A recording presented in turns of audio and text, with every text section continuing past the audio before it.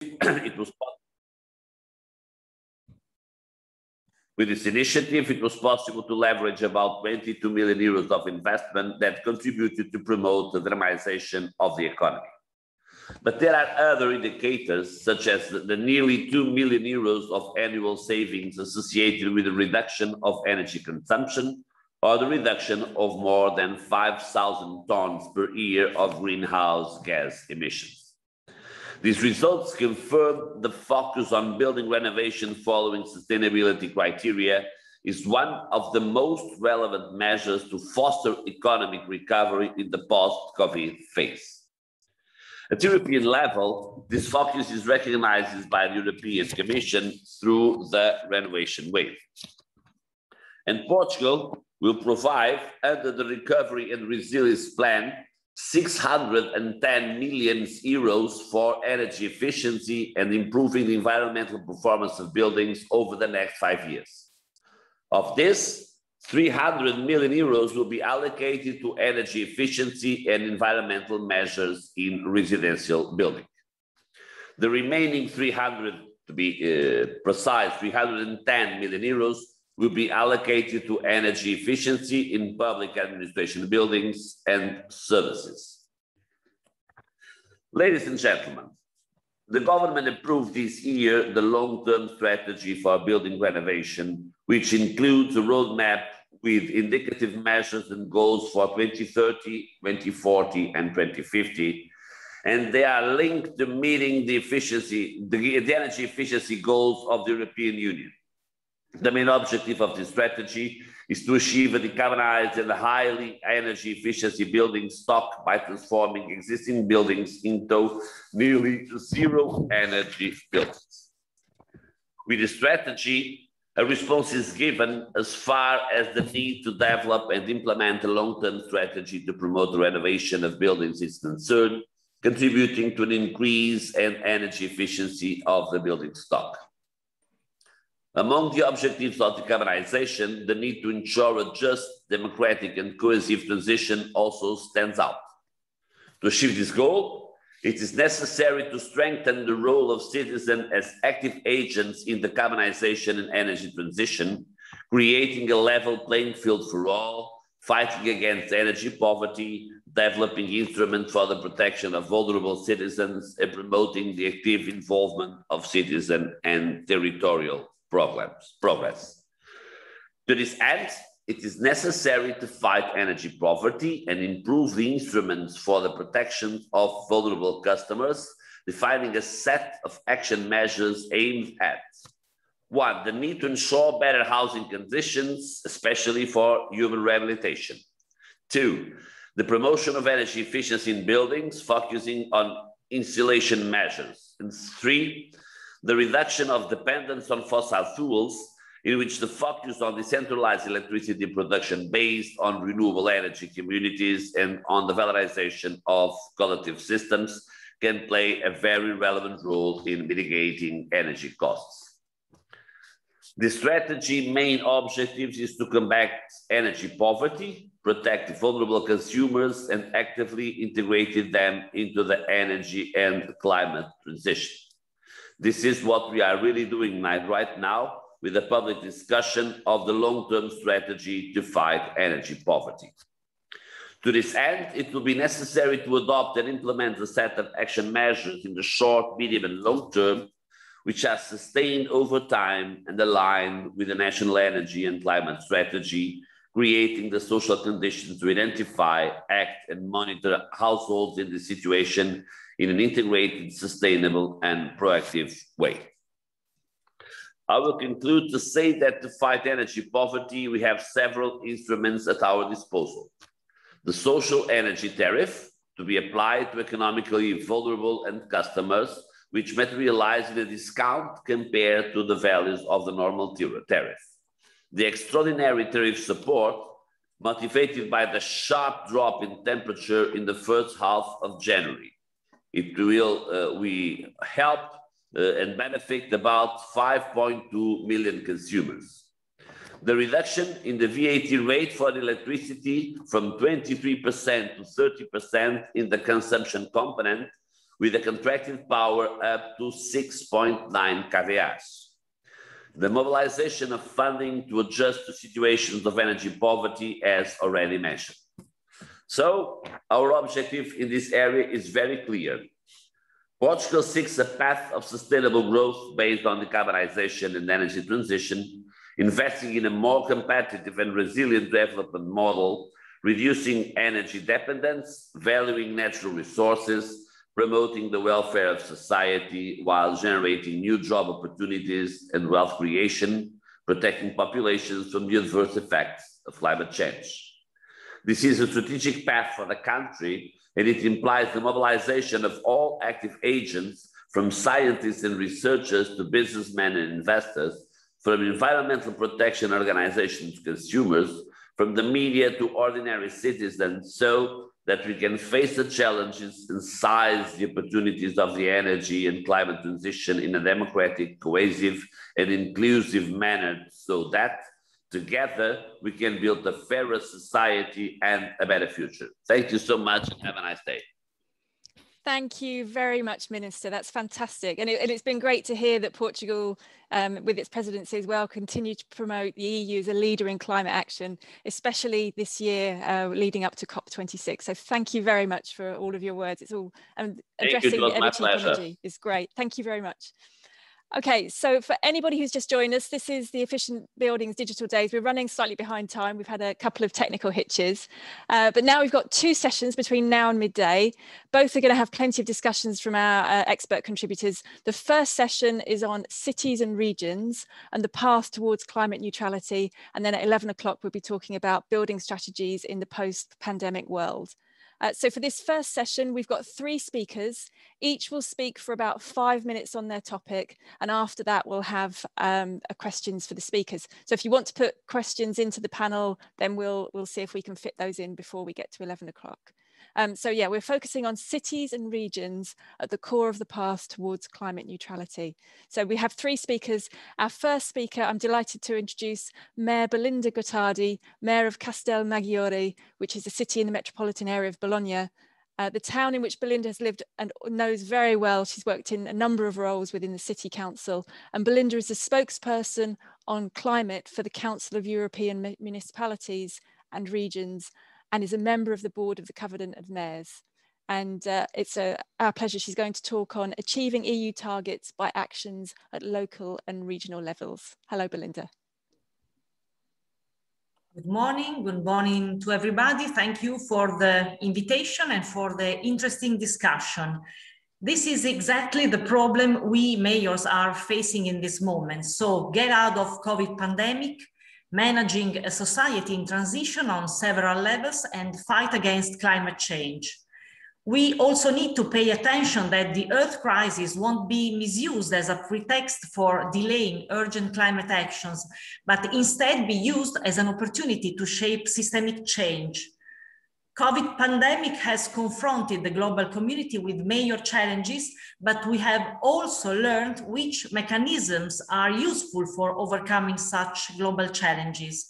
A strong political leadership, cooperation and coordinated responses and active involvement of citizens made us won the virus. And in the same way, we can win the challenge against climate change. I'm going to share with you uh, some experiences made in recent months that could be concrete examples of what can be done. I start with the Covenant of Mayors, which is a network of mayors committed to achieving the objectives set by the European Union on climate and energy. In order to translate the political commitment into practical measures and projects, Covenant signatories commit to submitting within two years following the date of the local council decision a sustainable energy and climate action plan.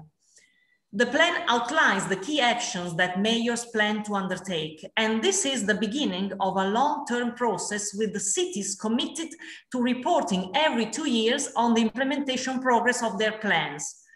Many towns have now their plan that includes actions on public and private buildings, the industrial sector, public lighting, mobility, production of energy from renewable sources, and actions to adapt to climate change. Some of the action are already underway. Uh, most of our lamps, uh, old lamps have been replaced with uh, LED lights. There are plenty of local solar communities that aim to create and share costs and opportunities of photovoltaic systems uh, a real cultural revolution is taking place on the issue of mobility. For example, in the metropolitan city of Bologna has been drawn up the first Italian urban plan for sustainable mobility. Networks of cycle paths have been created, so bike is now a real alternative to the car to go to work. And with the Bike to Work project, we give economic awards to employees and self-employed workers who go to work by bicycle in our area. And they calculate the kilometers traveled by bicycle with an app and the more they pedal the more they earn. Uh, this project is also connected to the implementation of mobility manager who promotes better and more sustainable mobility among the users of our industrial areas pedestrian and cycle paths are also created along our rivers and canals as soft mobility also represents an opportunity for outdoor tourism. The sustainable mobility plan does not only concern the bicycle, but also provides for the redefinition of public transport with the new tram and bus lines and the better timing of the Metropolitan Railway service.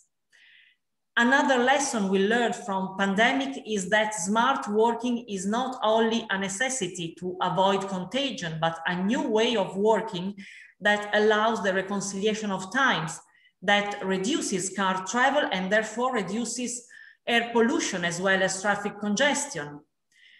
Talking about the active involvement of citizens, we are stimulating the birth of groups of persons who work to promote a new and sustainable lifestyle, which is in fact a great little revolution. I'm talking about simple projects like walking home to school paths, the correct differentiation of waste, the dissemination of good daily practices. But if we were able to promote widespread behavior, then we would really speed up the ecological transition process. Thank you. Thank you very much, Belinda. Yeah, behavioural change is all part of it, isn't it? Yes, thank you. Okay, so we'll move on now. And our second speaker is Curzio Cervelli, who is a coordinator of the Interreg Euromed Joint Secretariat, and he's been working on the programme since 2008. So the programme's headquarters are in Marseille in the south of France and are hosted by the Provence-Alpes-Côte d'Azur region. And now Interreg is starting the new programme. So we're going to hear about the contribution of the Interreg Med programme and looking ahead. So what can be expected for the phase from this year, 2021 to 2027. So Curzio, welcome. Thank you, thank you, Vicky, and good morning to all of you. Uh, first of all, I would like to start by uh, a significant thank uh, for the organizer. And uh, this is exactly what we can do uh, all together in order to capitalize and to valorize better our uh, um, outcomes. Um, for sake of clarity, and in order also to ensure the utilization of both official languages of the program, I'm going to speak in French. So, euh, euh, bonjour à tout le monde. Le futur du programme MED. Euh, trois, mots pour, pour le futur du programme MED. D'abord, la continuité. On ne va pas jeter ce qu'on a déjà fait de bien. On va s'améliorer sous la capitalisation et la valorisation des résultats et on va essayer d'améliorer la coordination en Méditerranée avec les autres programmes euh, qui interviennent dans le même espace.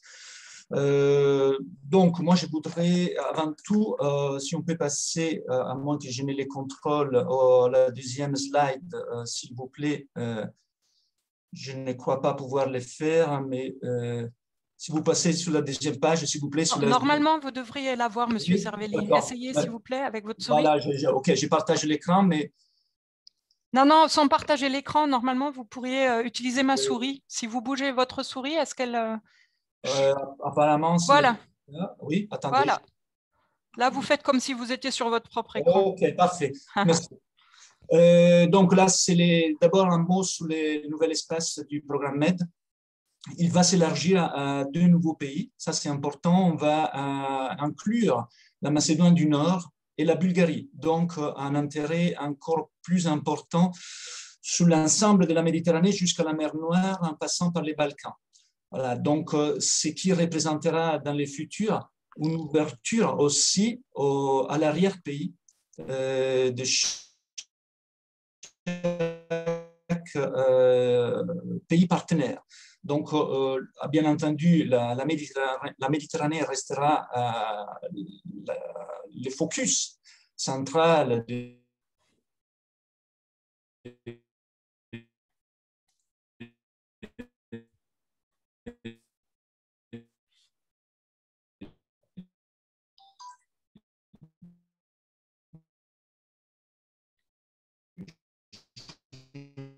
arrive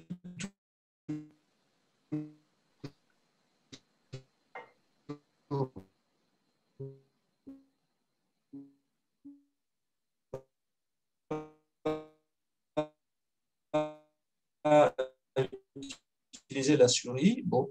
Euh, ok. Est-ce que vous m'entendez? Could you hear me? Yeah? Yeah, we can hear you. Thank you. Yeah, you carry on. Yeah, ok. Euh, euh, bon, je vais.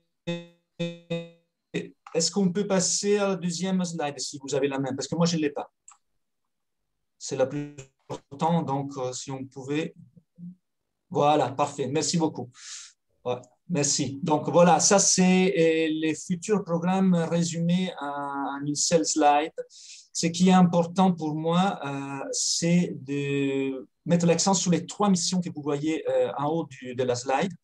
Donc, sur euh, l'économie d'innovation durable, sur évidemment l'environnement et un focus tout particulier sur les zones urbaines avec un aspect dédié évidemment à, la durabilité une mission transversale sur le tourisme durable qui est essentielle en Méditerranée sur ces trois missions euh, qui euh, seront, euh, constitueront les centres de, nos attentions dans le futur, on va construire, on a construit des priorités et, des objectifs spécifiques que vous pouvez voir juste en, dessous. Je ne vais pas les détailler parce qu'il n'y a pas beaucoup de temps, mais ce qui est important ici pour moi de souligner, c'est le fait que, évidemment, le programme Interreg Euromed, ce sera le nom du futur programme, va devoir se concentrer lui aussi euh, sur euh, les Green Deal d'une façon importante. Donc, c'est les, aspects sur preventing and mitigation risk, uh, supporting energy transition and greener living areas, of course, mais aussi euh, sur l'économie circulaire, sur la gauche de la slide, dans le cadre de l'économie d'innovation. Voilà, donc ça, ce sont les contenus du futur. On va, c'est pour ça que j'ai parlé de continuité. Il n'y a rien qui n'en efface pas euh, déjà dans la programmation 14-20, mais on va accentuer et on va améliorer l'effort que l'on pourra produire. Comment? Ce qui est important aussi euh, de souligner, c'est que nous continuerons évidemment à favoriser l'approche territoriale par les biais euh, des projets euh, classiques, standards, en faveur de tout acteur qui soit disséminé dans les territoires de notre zone de coopération, mais on va améliorer aussi euh, la capacité qui sera celle du programme Interreg et Euromed en termes de valorisation des résultats et de capitalisation des transferts. Donc, euh, le programme avait déjà euh, misé, fait un pari important sur l'axe gouvernance en 14-20. On va continuer cet effort et, c'est là où on va rejoindre euh, la, nouveauté j'ai un peu anticipé au démarrage, sur une meilleure coordination avec les autres programmes, quels qu'ils soient, qui interviendront dans notre zone de coopération, à la fois des programmes euh, comme euh, Horizon euh, Europe LIFE, etc., mais aussi et surtout tous les autres programmes Interreg transnationaux et, transfrontaliers qui interviennent dans notre zone de coopération. Ce qui est important vraiment, c'est que l'on fasse, que, l'on, que désormais on assure tous ensemble un effort commun sur des objectifs communs et que l'on puisse créer des synergies et un transfert des résultats vers les acteurs cibles qui sont les nôtres pour euh, nous tous. Donc, euh, il est vraiment essentiel que vous compreniez l'importance de cet aspect parce que c'est là où on va retrouver dans les futurs les nouveaux programmes horizontaux sur les communautés thématiques qui seront associés à des projets institutionnels. Donc, les projets euh, euh, communautés thématiques, donc les nouveaux projets horizontaux, auront une valeur double, celle d'assurer à la fois les liens avec les projets territoriaux qui continueront à travailler euh, d'une façon assez traditionnelle dans les territoires, mais aussi et surtout les réseautages et les liens avec les projets institutionnels, donc tout ce que l'on veut euh, exporter en dehors du programme vers les institutions européennes et nationales. Voilà, donc ça c'est vraiment l'effort maximum que l'on produit euh, dans le futur. Euh, un dernier mot, parce qu'on est en retard, le calendrier. Il y aura un kick-off meeting qui normalement sera probablement organisé en présentiel et en virtuel début décembre à Lisbonne, donc sous présidence portugaise. Euh, c'est aussi la présidence annuelle du programme Interreg et pas seulement celle du, semestre européen. Donc, kick-off meeting début décembre. Le programme, quant à lui, euh, devrait être euh, déposé auprès de la Commission européenne dans, dans la même période, donc fin novembre, début décembre. Les premiers appels à projets, chose qui vous touche euh, de plus près, euh, ne devraient pas être officiellement ouverts euh, avant le début de l'année prochaine.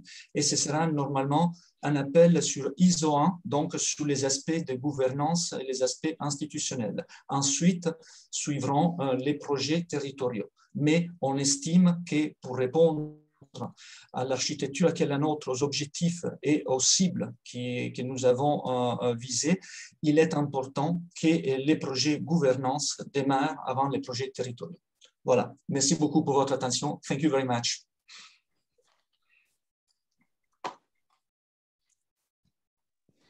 Thank you very much, Kezia.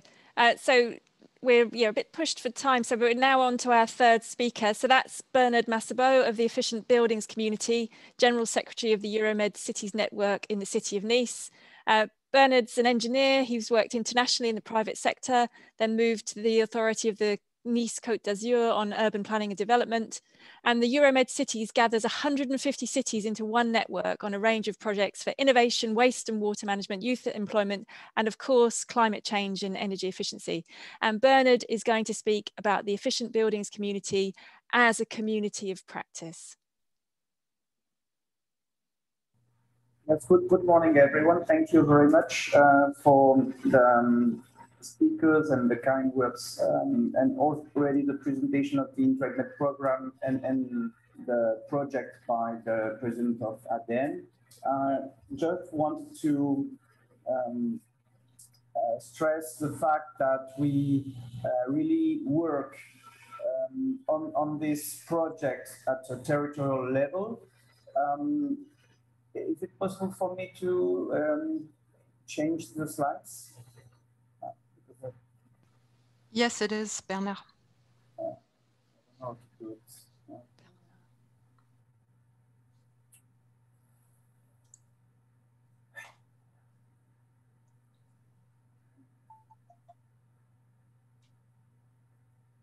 Oh, Alison, can, can you do it for me, please? Um, I, I, think you just need to click on your own uh, mouse. Can you try, Bernard? Yes, but... Uh... Yeah, exactly. So, so as, as has been already said, this, this uh, efficient buildings community of projects, it's more than a project because we are uh, coordinating 10 uh, uh, single projects. We try to focus on strategic coordination, communication, and of course, main activities on, on transfer and capitalization because this is really the, the objective of the program. And what we do is at territorial level. And of course, the InterregMed program is mainly focusing on the north shore of the Mediterranean, but also we are working on both shores um, because we think that, um, I mean, the Mediterranean is one territory, uh, a world territory. Um, and we work also, uh, of course, on energy efficiency in public buildings. So we work for the cities, we work for the regions, in fact, we work for all the local authorities, also for energy agencies. Um, we are um, very concrete, or we try to be very concrete, and um, it's why all the projects uh, we are coordinating uh, have developed uh, tools um, decision-making tools for local authorities mainly. Um, um, some of them, this is very interesting, uh, are uh, dealing with uh, issues related to schools buildings. And i am give, giving a few examples, but these tools are very simple to use, uh, very concrete, and the idea is to encourage the local authorities to use these tools in order to have a better view of what they could do um, for their buildings in, in their uh, institution. Um,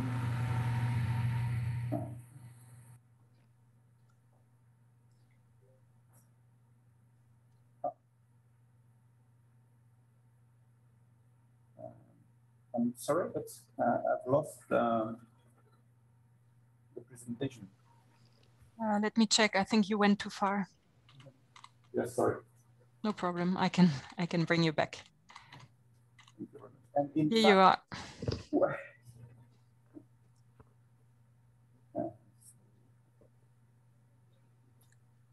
Okay, so in fact, we we we have uh, analyzed all the tools developed by the uh, the project, the single projects, and trying to find the the, the tools which uh, which have the more impact on the territory which have already been tested um, to be the, the, tools which can be replicated and um, of course uh, which are very um, useful and do not need too much um, technical input from the new receivers, from the new authorities, and get some technical support from the um, uh, cities or from the partners which have developed these tools. So uh, really, as it is mentioned, we try to deliver to or to offer to the local authorities some ready-to-use tools, ready-to-be-used tools. And in terms of uh, transferring, we, we are developing several activities, um, mainly uh, I would like to highlight three of them. Uh, living labs in uh, five uh, countries, uh, from beginning of this year to uh, September 2022 in order to um, uh, create uh, local concrete communities uh, to exchange on the best, best practices. Also capacity building workshops as it was mentioned um, earlier today, uh, during this event, Digital Days, we will organize uh, six different uh, capacity building workshops. And also um, we, we have proposed um, a, a, pilot action, um, which is also very concrete and which has started um, last month. Uh, it's uh, city twinning partnerships between cities from the North Shore and cities from South and East shores of the Mediterranean. We, we have selected 16 cities um, representing 11 different countries and uh, we will work uh, with these uh, cities until uh, June 2022 in order to exchange on uh, a few of these uh, tools and adapt it to, to the cities which have been selected in order for the cities to try to implement these, these tools. yes, I thank you very much. All, and thank you very much for your attention. Thank you very much. That was fantastic. And um, it's great to see that capacity building is playing such a large part of all of this. It's, it's so important. Um, so thank you. Thanks to th our three panelists. Um, they're very fantastic talks and quite different perspectives on the, the issue of efficiency in buildings. Um, so we're running behind time. So what we'll do now is we'll just have a one minute break before we go to our uh, next speaker. So just take this, I will give you till seven minutes past 10, uh, 11 um, till uh, have a just have a stretch and then we will come back to um, uh, the uh, aspect of the Croatian Energy Agency and, and, what they have to say is our inspirational talk that's coming next. So just, yeah, get up, move your legs, have a quick stretch, fetch a drink of water, and we'll be back in a moment.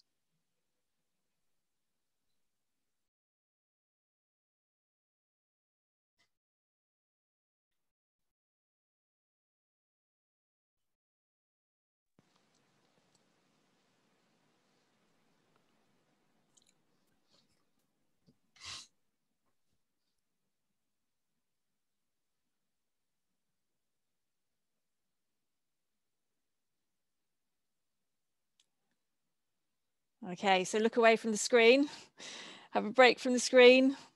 Um, so our next topic, uh, so we're going to move on. So the next part of the session is to bring in the whole, um, the effect of the pandemic and the recovery plans for the pandemic, and that as a major governance challenge.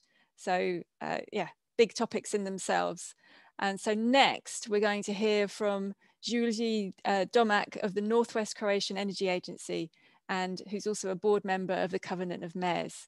So he's authored over 60 publications uh, on energy policy, forestry economics, biomass and bioenergy, also working in renewable energy and energy efficiency, and now a special advisor on energy and climate at the Office of the President of the Republic of Croatia. And we're going to hear on can our buildings build our better future? So welcome. Wow, thank you very much. That's a lot Thanks of hats, obviously.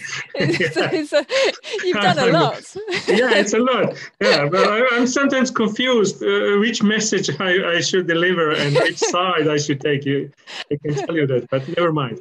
That's right. Uh, if you're in a topic for long enough, it's, yeah, it's, yeah, yeah, yeah, definitely. Uh, but but well, uh, uh, I think the topic today is is is quite uh, straightforward, and I think we are all on the same side, uh, on the on the on the same side, and on on the safe side, of course, if if we are uh, pushing forward uh, uh efficient buildings. And it's great to be here, and and uh, well, a lot of uh, colleagues I know it would be much nicer. somewhere around Mediterranean coast, but but never mind. I, am sure we will we will have that soon. So, so in a 10 minutes, I'm going to just very briefly tell you some of my, my, my thoughts, can our buildings be build our better future? And uh, should I, should I uh, uh, tell you when I would like to have a next slide or how does it work actually? Sorry.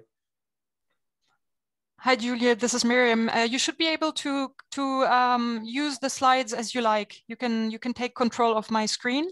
If you just click next uh, on your mouse, it should move the, the presentation. If you click in the slide. In the slide, sorry. In the slide. All right. Okay, good. Good, good, good. I'm sorry. Uh, so, uh, we all know that, that well, building buildings accounts for more than a quarter of uh, uh EU greenhouse gas emissions. Well, that's uh, that, that's that's very well known fact. And and but what is not so obvious that we, we, we have around 250 million existing buildings. So, so all of them, uh, uh, as well as all new buildings in the EU, uh, needs to be net zero carbon buildings. So, so that's quite a challenge, uh, I think. And well, we know about the strategies and well, within all our projects, we, we try to deliver solutions, but obviously uh, uh, the challenge the challenge is there. And it was mentioned uh, already today, and I'm really happy that I heard that statement. So, so it's not only that we need to reduce the need uh, for heating or air conditioning, or we need to, to generate renewable energy on site. We need now to think uh, about the choice of materials and we need to think about the, the, the carbon footprint of that materials. Uh, and that COVID crisis, I think, uh, uh, did some some good thing uh, things to us as well, because we are now more uh, uh, more than ever, I would say, aware that we need to focus on health and on on well-being, be, well-being when we are thinking about renovations and when we are thinking what we what we what we would like to do just to share uh, uh, uh, the, the, the, Portugal minister said about his country, just to share with you from Croatian national long-term building renovation strategy, we calculated that we need uh, around uh, 32.4 billion euros until uh, 2050 to renovate our buildings and to, to, to well, fulfill the goals we have. And that's a lot of money. That's a lot of money, uh, well, even for uh, bigger and, and, and, and wealthier countries uh, in Europe, not only for Croatia, uh, but uh, in the strategy and, and what we advocate definitely is uh, that we need to use that EU funding as a, as a tool to de-risk and, and to secure uh, uh, Uh, uh, affordable financing, but the focus should be on affordable private financing. And the blending is the key. So, so that, that would be one of the uh, messages uh, from my side. do not forget that with, with the right strategy and, and if, we, if we play uh, wisely, we have a potential to create 3 million new jobs uh, in building sectors in Europe. And that's also something uh, to think about it. Uh, last uh, autumn, uh, we had in Croatia our first national roundtable on financing energy efficiency in buildings. And well, apart from that conclusion on financing and blending, it was one of the conclusions was to uh, to try to, to develop technical assistant, uh, uh, assistance program on on a national level. Uh, again, something uh, uh, many European countries are trying to do. we, we, we should focus, we have unfortunately that experience from, from last year, uh, we should focus on deep renovation on buildings and we should include measures such as earthquake protection, uh, interior design, fire protection. I think uh, all of us in the Mediterranean countries are, are well aware about the, the risk and, and, and, and the potential uh, uh, uh, uh catastrophe of an earthquake. Uh, I can tell you we in Croatia uh, last year really had a chance to, to, to, to, see what can happen with the earthquake. So, so, so that, that should be in, in focus in the, in the future as well. And one very important point would be also to, to make better utilization of uh, integrated territorial investment mechanism we, we have that in most of the countries. Uh, that would be especially important for cities and, and for urban agglomerations. Uh, very recently, I found out uh, uh, uh about, about a nice example I wanted to share with you today. Well, I mentioned before technical assistance, and well, we know, of course, that there is an ELENA program of European investment banks, and well, it's it's it's an, an there is a policy push to to use that uh, facility more and more. And here is an, a great example from Ireland how how an unsuccessful ELENA project can uh, not only well deliver within the, the scope of the project, but can can have a very successful follow up. So, so this is an, an, a story about Tipperary Energy Agency and Electric Ireland uh, who announced a new joint venture named Electric Ireland Superhomes. Well, the, the, the, the, title, the name of that ELENA project in Ireland was Superhomes. So, so, so as a follow-up of the project, uh, uh, uh the, regional energy agency, uh, uh, well, like, like Regea and like many others in Europe, and uh, electric national electric utility will now deliver 35,000 deep home energy upgrade, upgrades by, by 2030. And, and that new Electric Ireland Superhomes scheme will create 200 jobs over the next five years, which is, is equally important. So, so, so this is a good example uh, of a successful follow-up of a technical assistant uh, assistance projects. And just to mention, uh, uh, well, this is a, a, recent photo from, again, uh, from Croatia, from, from, from in front of one of our offices, where we had a first national Bauhaus dialogue. And, and this is another initiative which makes me very excited uh, the, the, the, the, new European Bauhaus initiatives uh, initiative obviously connects the European Green Deal to our living spaces. And, and we, we, we need, well, the intention is uh, uh to build together a sustainable and inclusive future that is beautiful uh, for also for our eyes, minds, and souls. And that, that reminds me also very much to something uh, so characteristic for, for Mediterranean, for well, for, for the for the Renaissance. Uh, so, so, so, we see that new European Bauhaus as a kind of a little renaissance uh, uh in building sector and well in other sectors because obviously uh, the, this is a creative and interdisciplinary movement which will connect science and technology and art and culture. So that's very important. So, so that was some of my, my thoughts uh, which I wanted to share about the buildings uh, uh, uh Uh, uh, uh, today. Uh, obviously, our buildings in, in 21st century are not uh, just a shelter anymore. our buildings are a place to live, to study, to work. Our buildings are our heritage. I think we, we should be aware of, of, of, that, especially in our Mediterranean area. our heritage uh, which we need to preserve, uh, but uh, the, the, the, buildings are our responsibility as well and can be an important driver for European and, and global economy. that would be that would be it for the moment. Uh, uh, uh, I hope I hope I stayed within my ten minutes, and then you did. Thank you very much. That's yeah, and fantastic. And, and it's it's a good reminder that buildings have many purposes. Um, and you're speaking about um, earthquake protection. One of our speakers in the next panel will also come on to that as well. That yeah, lots of functions for a building to be considered, not just um, its energy use. Um, thank you. So from now until midday, we have four expert contributors with expertise on governance, building renovation strategies, energy provision, and municipalities. And I'd like us to also hear from all on the forward look out of the pandemic and recovery plans.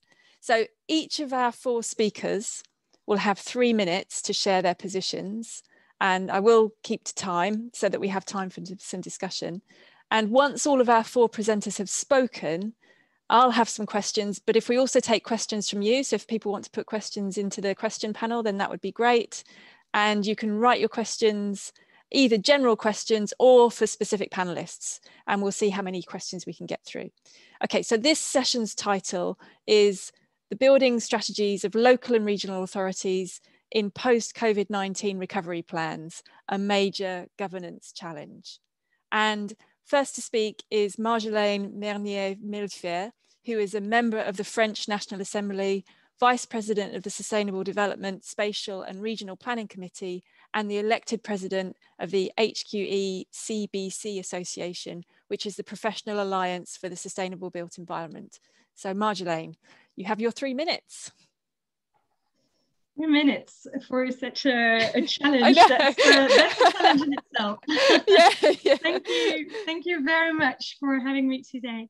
Uh, I'll try to be brief. Um, um, yeah, maybe what I can start with is to say that uh, in the last uh, four years, uh, I have been uh, appointed by the French government to, to co-chair the French roadmap to building retrofits.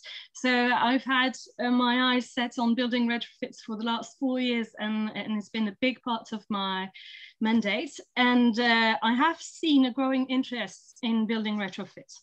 In the last four years, uh, this growing interest uh, has come from maybe two reasons mostly. The first one was the yellow vest crisis that you've all heard of because it rippled across Europe. So obviously you've heard of it. Uh, the spark, as you know, was the new carbon tax on fuel, and that was discussed in autumn uh, 2008, and it ignited a strong protest that lasted for months uh, until spring of 2019. The conclusion of that protest was that everyone agreed on fighting climate change and was ready to make sacrifices, but it appeared there would be no major increase in environment policies without social, social justice and fair dealing of the most destitute of our fellow citizens. Under that light, building retrofit appeared as a topic of reconciliation between those who were concerned with the end of the world and those who were concerned with the, their bills at the end of the month. Better housing is both good for the climate and for inhabitants as they don't have to pay as much on heating and they don't get sick as often as they did before. Um, and so building retrofits became a political issue rather than just a technical environmental problem tackled by specialists that it had been so far. The second crisis, of course, is the, the one with the COVID, COVID uh, pandemic. And once again, this crisis served as an accelerator for building retrofits. Uh, not many people know that we already spend about 90% of our time indoors, uh, but the virus uh, took it to another level when governments were forced to ask people to stay indoor all day in their homes.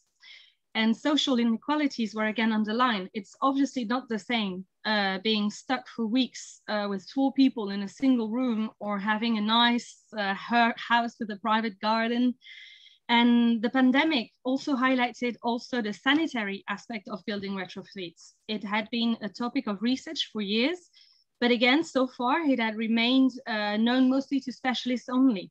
Now everyone is obsessed with indoor air quality, which is a very good thing, uh, of course, as now we can expect all to make uh, real progress in that area. And last but not least, with the pandemic, we have that heavy cloud of economic crisis uh, hanging over our heads.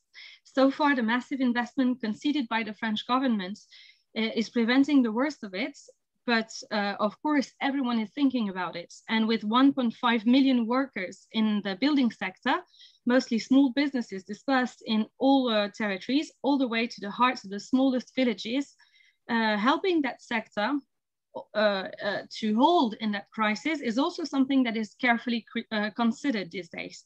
So we have a saying in France that is, quand le bâtiment va, tout va. When the building sector is doing well, everyone is doing well. Well, uh, all these aspects, you know, merge to make building retrofits a major pillar of the French recovery plan in France. So I won't, in the three minutes, get into the recovery plan itself, but um, uh, all I can say is that um, uh, it's been a massive pillar of it, and we have six, uh, more than six billion euros invested in in building retrofits in the last in the next two years. Uh, the two things I'd like to add in the time that I have uh, are two special targets that we, we are also tackling in France today, and that is the importance of data. We need to know uh, what we are doing uh, and assessing uh, with certainty the impact of government policies is very important.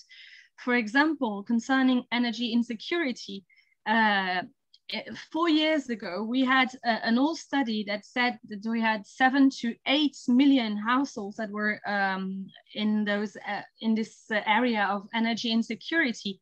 And a more recent survey indicated that uh, we would be closer to 5 million. So it's a very different thing having 5 million people under the threshold of energy poverty or having uh, 8 millions. So it is important to know how many retrofit we are doing each year and also to what uh, effect exactly uh, we are, what results we are expecting from them. So we have been uh, in the last two years working on an observatory uh, that would be able to give us more uh, specific and more, um, you know, solid data to build our policies on. So that was the first uh, thing I wanted to, to say. And the second thing I wanted to highlight uh, was the training of professionals. As I said, the building sector represents about uh, 140 billion euros a year in France. It's 1.5 million workers among which uh, 500,000 work alone and have no employees in France. We have a very low unemployment rate uh, of 3%. So the problem is more finding the people to recruit than, than having unemployment issues in that sector. Uh, since 2008, 25% of the workforce uh, the age of retiring and uh, well-deserved retirement, but uh, we are uh, facing a problem of recruiting and finding new generations finding their way into that, um, that sector of work. And 40% uh, of businesses express difficulties to find new recruits. So maybe what I would like to end on to, to our opening statement is that uh, probably the next big challenge now that we have established that building retrofit is one of the key pillar um, to, uh, to fighting global change um, we now need, we have found the money now thanks to the huge um, uh, recovery plans uh, set about uh, all over Europe. And now maybe it is time for us to invest, now that we've invested in the buildings, to invest in the people that will actually tackle the renovations for us uh, you know, day to day in their in their work. So yeah. maybe invest in the people as well and in their training. Thank you very much. Yes, I yeah, I completely agree. The yeah, the individual skills and and and judging the competency of those people so that you've got competent people carrying out the work that needs to be done is is, is essential. Yeah, thank you very much for that. And also like the comment about um, perhaps people being more aware of their environment when they've been forced to spend more time indoors too. I, I certainly am. okay, a little ten percent that made all the difference. yeah, yeah, yeah, yeah. Thank you. Um, yeah, yeah, that's a good point. Yes, yes, how liberty can be. Yes, no, that's, that's a very good point. Um, okay, so next we have Pep Morales, who is Deputy General Director of Architecture and Housing for the Government of Catalonia. So he is an architect and has worked at the Government of Catalonia for the last 16 years. So Pep, uh, your three minutes, your opening statement, please. Uh, thank you very much. Uh, I, I, I, will try to just um, uh, put the focus in, in, in, in one of the things that I, th uh, that I uh, guess it's, it's really important from the government's point of view. We must take into account that to achieve all the global goals in terms of um, sustainability, no, the, the sustainable development goals, we must do concrete actions. Okay, we will not achieve uh, the sustainable development goals without uh, changing windows, without uh, improving our energy efficiency in, in our buildings or in our uh, homes. Uh, so how, how can we uh, arrive to the people, to the human scale from the global scale? So we are always talking about uh, sustainable development goals in terms of global uh, goals, but uh, these global goals we must uh, we must make them arrive to the human scale. So, so the concrete scale, the families, the, the, the people in the street. Okay, so uh, it, this is uh, one of the main things that we are working on, implementing, designing, and creating regional strategies that allows the, the, the change of scale. So uh, I like to talk about the intervention, the different intervention scales. We must know in each moment in which scale we must work. But to arrive to the human scale, we must, uh, how to say, uh, we must go down from, from, from a very top scale to the, to the human one. So th this is one of the things that we are working on uh, in, in, in the framework of the architectural quality, in the framework in our own uh, urban agenda, and in the, in the framework of our own uh, national plan of urban renewal, okay? So this and uh, from this is from one point of view, and from the other point of view, uh, we, uh, at least in Catalonia and, and in Spain, uh, all, all the issues related to uh, energy renovation, energy renovation, sorry, are managed from different departments in the different governments. So I think that this is a kind of barrier uh, that we put ourselves in, in the way okay so it, it, this is not a barrier because of the sector is quite difficult because of the man, managing the the implementation of these strategies is quite difficult no this is a, a, a barrier that we create ourselves we are doing it quite difficult. Okay, so there's the Department of Energy, the Department of uh, Housing, the Department of Urban Planning. So if we don't create a lack of uh, coordination, a lack of uh, institution that coordinates every department in this matter, we will continue uh, going uh, year and years um, everyone looking to each own our own objectives, but not in the global objectives that uh, I think it's uh, one of the points that we should uh, focus on. And this is just a couple of things I, I, I just want to. I yeah, that, that's, that's great and uh, and and this is the thing with the sustainable development themselves and goals themselves is that the idea that they're interlinked as well and it, it just shows that that's reflected in everything and putting things into silos just doesn't help any of this but and that is a barrier in itself to overcome. Yes thank, thank you. Okay so we'll we'll move on to uh, maria joao rodriguez rodriguez who is has a phd in engineering and industrial management and a varied career in sustainable energy with expertise in solar photovoltaics. And maria is the technical and financial director of lisbon's energy and environment agency so maria give us your thoughts for three minutes Hi, everyone. Thank you very much for the invitation. Uh, I will just uh, try to focus a little bit on what's the, the now the strategy in Lisbon. So uh, it's uh, widely acknowledged that uh, the pandemic implied a new way of working, putting a higher focus on residential buildings as a place to live and work. And, and buildings are in fact uh, uh, responsible in Lisbon for over 45% of greenhouse gas emissions. So we have been working over the years in, in action plans, such under the Covenant of Mayors, and now more recently we are um, almost approving a new climate action plan that has been developed uh, under the C40 networks, global city network. And uh, we have ambitious uh, reduction targets. We are looking at 70% reduction target in 2030 as compared to, uh, to 2002. And so, of course, that buildings and, of course, mobility and transport, we are a tertiarized uh, cities. So these are the main, the main sectors where we have to focus. And uh, we have also a very ambitious uh, goal a long-term goal to, on 2050 to eradicate energy poverty in the city.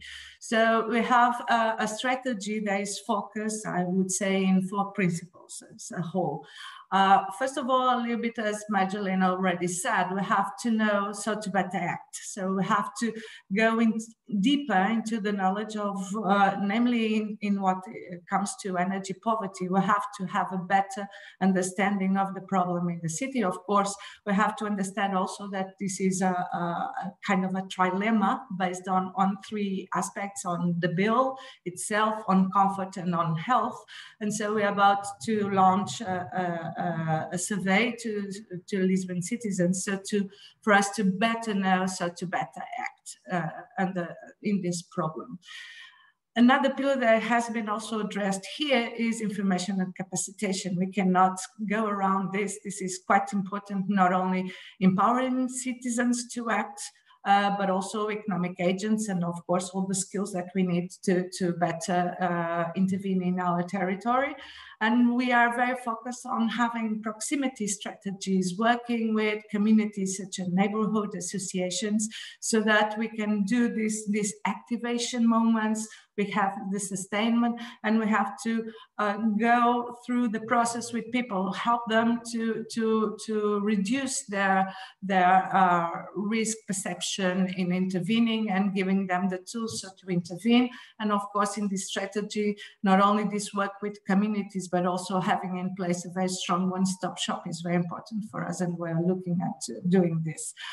And this connects with inclusivity and active citizen involvement solutions. We have to uh, be creative and, and, and co-creating the solutions with people, not imposing anything uh, at front.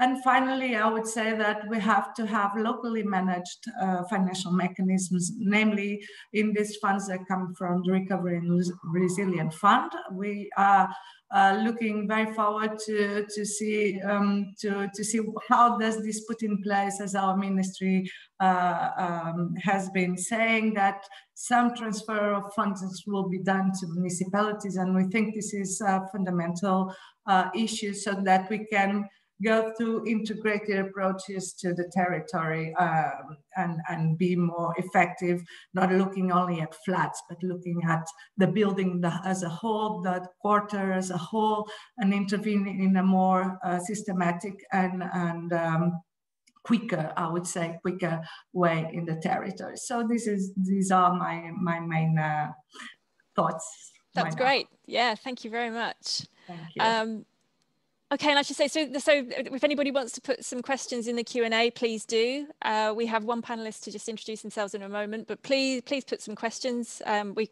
we can have um, a discussion until uh, the end of this session. Um, so our next speaker is Mayor Rossella Cendron. Rosella has been the mayor of Silea for four years and was a councillor for 10 years prior to that. And it's a municipality near Tre Treviso, which is 30 kilometres from Venice. And she's provided over renewing the school building stock uh, and as our previous say, uh, presenters have talked about, for earthquake protection as well as energy efficiency. So Rossella, your three minutes.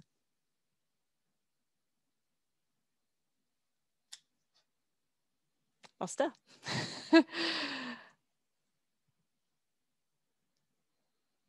Can you hear me? Yes, we can. Yes, Hello. Okay, okay. Hello. Thank you very much for your invitation. Um, I will bring the point of view of a mayor of our 10,000 uh, uh, inhabitants uh, town. And uh, I, I really, I'm really convinced that after um, this, this event, even more after this pandemic event, um, that the future of the Italian urban structure, but also of all uh, Europe, uh, along with my town, my region, will, will increasingly depend on the ability to rethink and redesign the use of space. Because the, the new urban context cannot and must not uh, start from the consumption of new land, but it must originate from the renewal of the existing building stock. The, the urban regeneration pro process is made even more urgent by the health emerger, um, emergency uh, triggered by the spread of COVID-19 uh, virus, which has impacted in the way people experience cities, workplaces, their, their own homes, public, public spaces for free time, public utilities as well. The cities today uh, face new challenge, challenges, impro improving uh, the quality of life and offering people easy access to the wide, um, a wide range of essential services, from transports, for example, to green areas, from health inf infrastructures to cultural, cultural and digital in infrastructures. The urban renovation therefore represent, represent for us an extraordinary opportunity to rethink cities and town and to put back at the center the people well-being. At the same time, is a great opportunity for economic, social, and cultural revival for the communities. And the recovery plan will be uh, an accelerator for all these issues. And uh, I, I, will do some practical example uh, of changes, of changes already enacted. For example, in my town, in Silea, um, in the, pro the project approved be between uh, uh 2020 and 2021, we required wider spaces, planning to ensure different distan distances and safety uh, among people, especially in school buildings. And uh, for example, we required the improved air circulation, circulation systems. um, another that is already in uh, in act uh, for that uh, that uh, affect uh, the way of planning in the cities is also the fact that cafe, restaurants, and hotels had wide, widened uh, widened their stallage to increase the number of table and possible customers. So they, they are, mm, we have already changes enacted that, that we can see.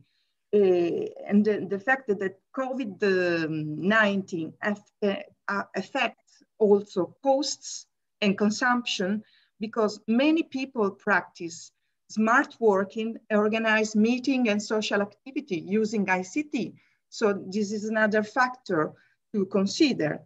To, to sum up, uh, uh, we, we, we are at the point of no return because uh, public and private building need to be conceived or made totally or almost self-sustainable in terms of energy. And so that is the challenge, the challenge we have now, and uh, we have to take the whole opportunity to do it now. That's great. Thank you very much. And I, I just have one question. So what, so obviously this is a massive challenge, but what, what do you find are the most useful policy, policy instruments to promote the building renovations um, for your city?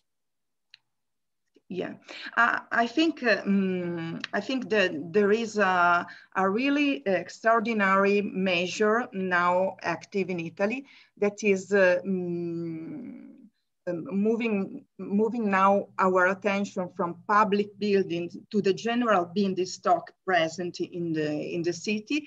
The most useful uh, instrument at national level in Italy is center, certainly represented by the package of uh, extraordinary measure promoted by the so-called relaunch de decree, il decreto rilancio, uh, of uh, last of May uh, 2020 that has increased to 110% the rate of deduction due for the intervention as energy requalification work, seismic risk de deduction, reduction, installation of photovoltaic system, and uh, of columns for recharging, recharging electronic uh, vehicles.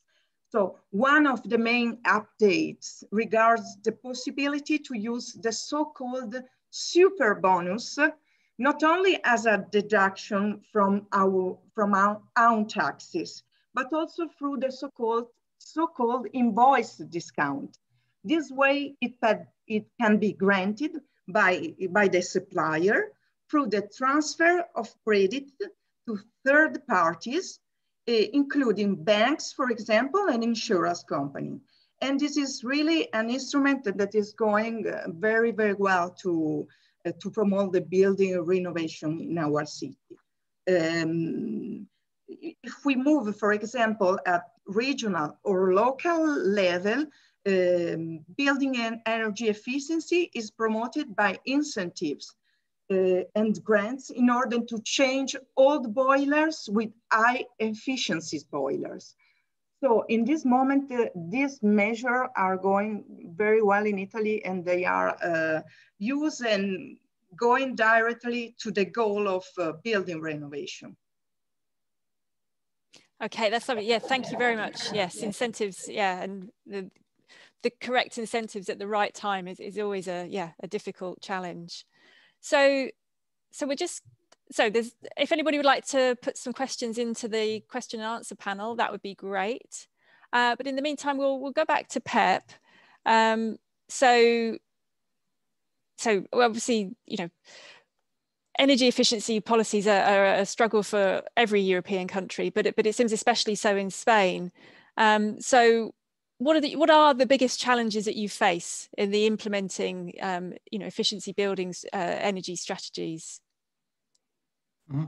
uh, i think that that uh, one of the difficulties of the uh, another barrier is uh, trying to concern people about this issue because in many cases uh, there are different priorities uh, in the managing of the buildings. I mean, first of all, you need that everything is okay in your building. I mean, uh, uh I mean, an structural um, uh, revision and structural uh, uh, keep keep keeping the building um, solid okay yeah. then keeping uh, take care about uh, that every building uh, would be able to be used for elderly people i mean maybe lifts maybe other kind of um, mm, renovation, not in terms of energy, but in terms of uh, social uh, uh renovation. I mean, uh, um, everyone should be able to arrive to their own uh, flat. And in many cases, this is not possible. And these are in, in, in the mindset of the people, of the citizens, uh, this is before this comes before than the uh, renovation in terms of energy efficiency. So we should have to work uh, in terms of um, doing the renovation the energy renovation according uh, uh, at the same time that we do that, that we do the other kind of renovations needed by the buildings in the buildings. So maybe Eh, eh, in the in the Spanish or in the Catalan case, we should have to uh, give subsidies not only in the renovation of the energy efficiency uh, in the buildings, but in these uh, different parallel problems that citizens have in their buildings. Because if not, it, they will not afford even if, if we give 70% of the of the budget with subsidies or, or whatever, uh, they will not do it because they have another kind of priorities. Yes, quite. Yes, absolutely. Yes, I understand that completely. Yes, yes, competing. Yes, it's just not the priority for everybody. And, and how do you solve that? Yeah. So, yeah, good point. Um, so we'll come back to Marjolaine. Um, so we haven't talked much about the legal framework. So how does France's legal framework push for action and how does France assure, assure that the local and regional needs are truly considered in a national strategy? And then how can we link national productions and on the ground actions? But yeah, let, us talk about some legal issues.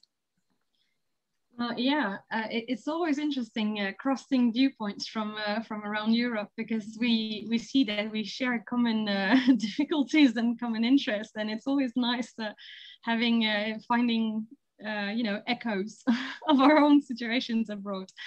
Um, what I could pick up from from what Rossella just said is that it's difficult. We have to help people get involved by themselves pushing incentives so that they, they will uh, tackle the subject and go, go there willingly. But at the same time, we also know, as uh, Joseph just said, that it is very difficult to interest people in, uh, in their housing renovations. Um, so the, the main problem maybe is to, to make them know what is to be done uh, by 2050. And that's one thing that we have been doing. We've been uh, making that roadmap more um, you know visible for people. And uh, from uh, 2022 uh, everyone will receive every time that you change situation from housings you know selling it or high, uh, uh, renting a new place you will have information as to the situation uh, in of your of your housings what you rent and what you can expect as energy you know bills and and all sort of things like that and this will help make people understand, we hope, uh, what the situation is and what needs to be done by 2050. So that's one thing. And at the same time, uh, because uh, today, nowadays, we know that 67% of people think that they have nothing to do for their housing. They, they think that their homes are perfect, are just as they are, and they think they've done what they needed to do. So they think all we are doing and saying about building renovations uh, actually don't apply to them. So it's something that we need to make them understand that uh, indeed it's not just because the paint is nice and you know yeah. the the general aspect of the building is uh, is agreeable that you don't have to to tackle the problem. So that's something that we need to change scales about and also make bring it to other issues as well because like decorations and uh, you know comforts and uh, health and not just energy Yeah. So this is what we are a bit shifting about in discourse these days, and also um, uh, uh with legal obligations, we are also making it. Uh, um, more mandatory to, to tackle the problem. For example, uh, the law will now force people to renovate their housings if they want to keep renting it. If it's in a poor state, now people will have to renovate their housings or it will no, no longer be able to be rented uh, and that's by 2022. Uh, voilà. And we also said that uh, energy, um, poor energy efficiency is also uh, indecent. Uh, and that is something that we inscribed within the law as well. So it helps uh, people having more um, tools to uh, go towards their landlords, for example, and, and make them act uh, and make the, the building renovations so it's uh, it's a fair, fairly difficult way to, to, you know to to to to to help with those lines because if you push too far with the obligations, you you have a risk of uh, finding yourself in a breaking point, and mm-hmm. people will no longer go with you. And that's the you know the yellow vest movement that I mentioned yeah, earlier yeah. on. We we don't want to live that again, so we are fairly prudent uh, as what we can do but at the same time, uh, people are also pushing us very, um, very far and going further. There was uh, this um, uh, citizen convention. I don't know if you've heard of it in France, but uh, uh, there was this uh, original idea that came from President um, Macron. who said we are going to um, to to you know with a lottery ask 150 people to think about those environmental issues and, and ask them to think about it and find solutions. And actually, the solutions that they uh, came up with were actually very much more radical than any political uh, actor would have dared dream. Yes. you know, even the most uh, ferocious environmentalists wouldn't have dared uh, impose that. So actually, when people are informed, when they are they have the um, uh, the data given to them, they become very more active and that's yeah. maybe what we need to to be doing yeah I, I, had heard about that so that's where the um, no internal flights more than was it two or four hours that, exactly. you'd have to take the train instead yes yeah yeah, yeah there were right. um, there were a lot of uh, propositions and uh, but some of the strongest ones were for building reno renovations because uh, that's where they wanted to triple, quadruple the number of renovations that we had to do, force global re renovations and no longer, uh, you know, part renovations as we as we were doing before. So, but the the fact was that 150 people became convinced, but we still had the rest of the population to deal with. Though yeah. we couldn't yeah. go as far as they as they said. yeah, that's great. Thank you very much for that. Okay, so we've got. Um, a question from the chat. So um, this is to you, Maria, but we'll see if eh, let's let's go with this. So do regions and municipalities have the necessary technical assistance to implement renovation strategies? So does the construction sector have the necessary abilities to perform the renovations that need to be done? Oh, interesting question. I would say that it's a two-part question, of course, and um, I would say that um, uh, the municipalities uh, are quite assisted by now by the at least in Lisbon we have uh, in the, the energy agency we are kind of this uh, technical assistant partner that we are trying to capacitate the municipality, nam namely in terms of green uh, uh, green purchasing strategies and also in the building sector. But of course, here we are talking about municipal uh, initiatives and uh, and of course within their own uh, uh, buildings, service buildings, and also these these new housing programs that we are we are assisting, also schools and everything. Uh, but I do think that uh, more than technical assistance, we need to find new governance models in the municipalities so that. Um, and it, it, has been a very interesting uh, process that we are doing this green commitment like um, um uh, within the, the municipality so that all the departments, all, all people that may be involved in these renovation strategies are well committed to, to follow the same path and, and target the same goals. So this is also a revolution that we need. As for the construction sector, I think we have to invest a lot in, in, in training. That's, that's for sure. It has been mentioned here already. And this, this is a, a must do.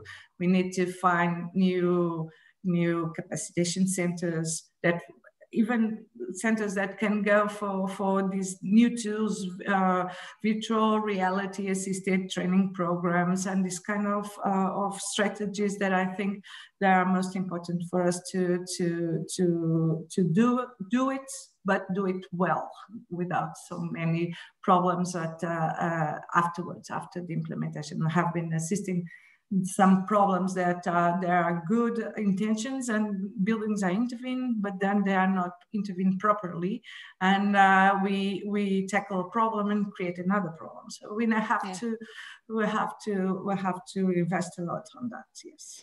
And, and where do you think that um, I mean, anybody in the panel is welcome to answer this, but, but, but if the if the construction centre needs training in order to improve energy efficiency in buildings, you know, who who's best placed to provide that training? Or, or maybe who's best placed to fund that training? Who's best placed to put money into that? Who you know whose responsibility is that if anybody from the panel wants to answer on that?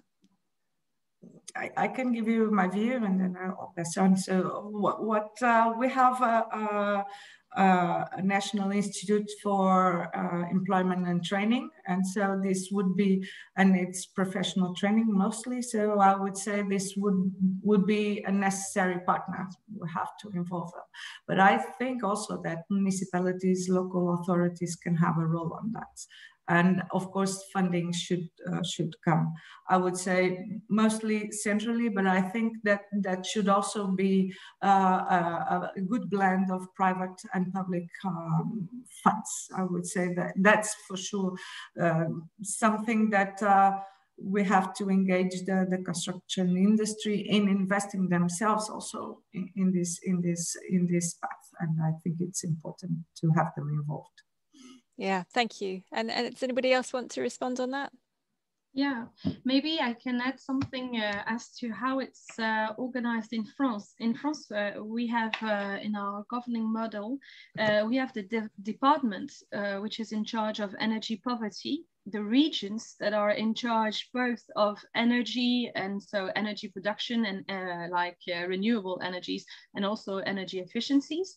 Um, and then you have, uh, of course, the cities. Uh, that is actually the area in which uh, you know craftsmen actually work because they they don't go further than 20 kilometers or something like that. So the regions is much too large uh, for it to be the right scale. So it's actually always a question of cooperation between the, the various scales. But funding uh, training actually comes uh, in France to the regions because they are both in charge of uh, energy efficiency and of training and the economy. So it's actually there that we, we, we could have the most effort um, but at the same time, of course, the, the governments have uh, national uh, strategic plans uh, for everything, so they can add up money to the table and and help the regions to to you know to support their own uh, financing. But uh, it's actually at the region levels, I think that uh, that would be best. Yeah, and that's great. Thank you very much. So, thank you. Thanks to all of our panelists this morning. That's a really nice note to end on because tomorrow we will be talking about funding and private um, public partnerships. Uh, but that's great. Some, some great messages this morning. The, the point that that it's difficult to convince people of the importance of energy efficiency in buildings because buildings have so many roles to play in people's lives. Um, and that interdisciplinary interdisciplinary work is also really important so cutting down so not having silos but keeping things together and keeping talking to as many people as you can to make this important to as wide groups as possible um, so that's it for the discussion this morning. Uh, again, I'd just like to thank everybody, all of our speakers. There's fantastic contributions from everybody. And now um, Jordi's going to talk about what's happening tomorrow. And we also have a survey for you. So in the closing couple of moments, two things. So this is, yeah, this is our session. So there's a session this afternoon on capacity building, um, and that's using SECAP and the Sustainable Development Goals within the framework of the Covenant of Mayors. And then as you see on the screen there, we've got um, other activities the rest of this week, uh, this afternoon, all day Tuesday and all day Wednesday. And I'll be back tomorrow morning and on Wednesday morning for moderating the policy sessions. So Jordi, and the oh, and the surveys in the chat as well, if you can. Yeah. Okay. Th thanks a lot, Vicky, and thank you. all the panelists, also for the, all the people joining us today. Oh, and I should thank the interpreters I should, before I forget. Thank you to our interpreters. Great work. okay. So again, th thanks to, to all the panelists to, to, to join us, also for all the attendance for the today's session. It was quite amazing session. The beginning, quite difficulties on technical issues, but later on it was just all working well. And it was quite interesting to hear all the opinions about this challenging topic about how to implement the recovery funds. As Vicky mentioned, to the, tomorrow we will have a second session during the morning, which will be the second policy session more regarding to the financial uh, topics. That means how to implement this financial uh, huge uh, recovery funds from the financial point of view. And that means that we will have two roundtables. The first one would be more related to the public part of these financial schemes, how these uh, public entities at different levels, national, regional, local levels, will be able to face uh, how to implement this, uh, again, huge amount of money in, in the renovation wave. And the second roundtable that would be more related to the private uh, point of view, uh, how these private entities, I mean, uh, funds, funds or what uh, specific banks, whatever, they would be able to collaborate with uh, public entities also to try to implement these uh, recovery funds in the smarter way possible in a short time that we have to following. So so we hope that tomorrow we can, you all of you can join us and just uh, just have these interesting two tables, strong tables about this financing topic. Thanks to all of you.